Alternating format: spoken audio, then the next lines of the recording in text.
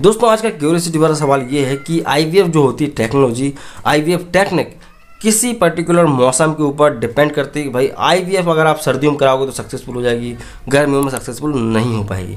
तो ये क्या है इसके अंदर की सच्चाई? बहुत से लोग जानना चाह रहे थे तो देखते रहिए।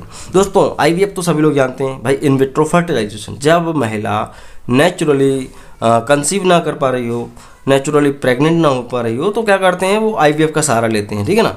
और आईवीएफ अच्छी टेक्नोलॉजी है, सभी को कराना चाहिए जिसको ऐसी प्रॉब्लम है। होता क्या है कि महिला का ओवम लेके और आदमी का स्पम लेके उनको लैब के अंदर मैनुअली फर्टिलाइज कराया जाता है ठीक है ना? उनका रिप्रोडक्शन मैनुअली कराया जाता है लैब के अंदर और जब वो फर्टिलाइज हो जाता है एम्ब्रियो बन जाता है तो उसको महिला के यूटेरस में इम्प्लांट किया जाता। है तो ये प्रोसीजर मैंने आपको एक लाइन बता दिया। डिटेल में जाना तो आप मेरा वीडियो देख सकते हो। तो ये चीज़ में काफ़ी लाखों रुपया लग जाता है आदमी का। बहुत पैसा लगता है, काफ़ी उम्मीदें होती हैं। तो कई बार आदमी का सक्सेसफुल नहीं हो पाता। किसी ना किसी वजह से वो फेल हो जाता है।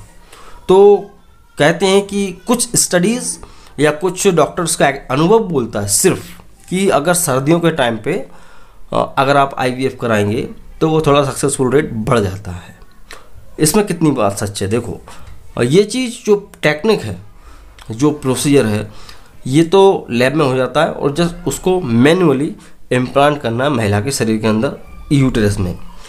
तो ये होता है कि जो महिला जब कंसीव होती है, उसके बाद से ही उसका बोलना चाहिए कि बहुत केयरफुल रहना पड़ता है। तो कहीं ना कहीं मौसम का थोड़ा बहुत फ़र्क पड़ता है। ये नहीं कि पूरा ही फ़र्क पड़ता है, थोड़ा सा। क्योंकि मौसम के अलावा बहुत सारे और भी फैक्टर्स हैं। जैसे कि शराब हो सकती है, दारू हो सकती है कॉफ़ी का ज़्यादा सेवन हो सकता है स्मोकिंग हो सकती है, ये सब भी अगर महिला नहीं छोड़ेगी या करती हैं तो भी तो एक पॉसिबिलिटी है कि भाई वो कंसीव ना हो पाए। ठीक है, और उसके अलावा कुछ शरीर के भी फैक्टर्स हैं, जिसके ऊपर भी आईवीएफ का सक्सेसफुल रेट डिपेंड है। जैसे कि एम्ब्रियो जो बन रहा है, उसकी पुअर क्वालिटी ठीक है ना? वो सही नहीं बना अच्छा नहीं बना तो वो कैसे सक्सेसफुल हो पाएगा? उसके अलावा महिला की एज है, ठीक है ना?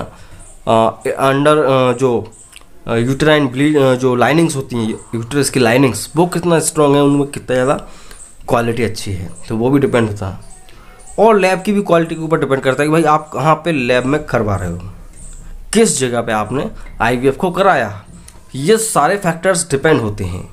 ये सारे अच्छे हैं तो फिर आपका ये समझ लो कि एक दो परसेंट है कि जो आपको मौसम अफेक्ट कर दे। ठीक है? लेकिन ये है कि भाई, अगर आपको कराना ही है तो कोशिश करो सर्दियों में कराओ, क्योंकि उस टाइम पे महिला को आप इतना ज़्यादा प्रॉब्लम नहीं होती डिहाइड्रेशन की प्रॉब्लम नहीं आती है, ठीक है? और यही चीज़ है, इसमें कोई आप इतना दिमाग मत लगाओ कि हम गर्मियों में नहीं कराएँगे, सर्दियों में। देखो प्रोसेस तो सेम है। मौसम से थोड़ा बहुत ये फ़र्क पड़ता है कि भाई, महिला को डिहाइड्रेशन हो जाएगा, गर्मियों में, सर्दियों में नहीं होगा। तो इतना कोई फ़र्क पड़ता नहीं है। और जो भी फ़र्क पड़ेगा वो मैंने आपको फैक्टर्स सारे बता दिए कि इन पे आपको नज़र रखना, ये मौसम पे नज़र नहीं रखना। ठीक है? तो ये चीज़ है। हो सकता है कि किसी ने सर्दियों में कराया हो आई और उसका सक्सेसफुल हो गया हो। तो कोई बड़ी बात नहीं है। सक्सेसफुल आपका गर्मियों में भी हो सकता है। तो ठीक है तो आई होप आप समझ गए होंगे आईवीएफ के बारे में कि भाई मौसम का प्रभाव पड़ता है, नहीं पड़ता।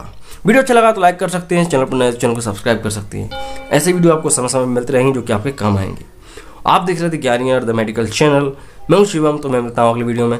जय हिंद बंदे मातरम।